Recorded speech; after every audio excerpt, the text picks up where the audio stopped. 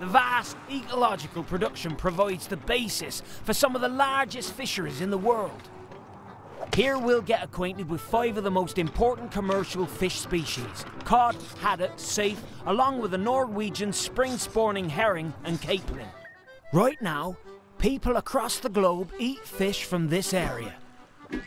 For northeast Arctic cod alone, the annual catch gives 1 billion 59 million 999,080 generous dinner servings. Uh. But where does all this fish come from? As the eggs and larvae are at the helpless mercy of the environment, a great deal of luck determines whether they will survive to become fry. The large whirlpool-like stream at Tromsøflaket is an important stop. Here the fish larvae are captive for two to three months until they've gained enough strength to move on their own. In Lofoten, we have some of the densest occurrences of spawning fish.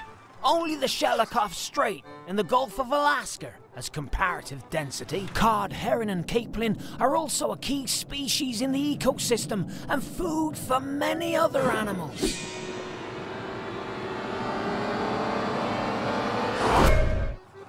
By protecting these areas, future generations may also enjoy the treasures of the ocean.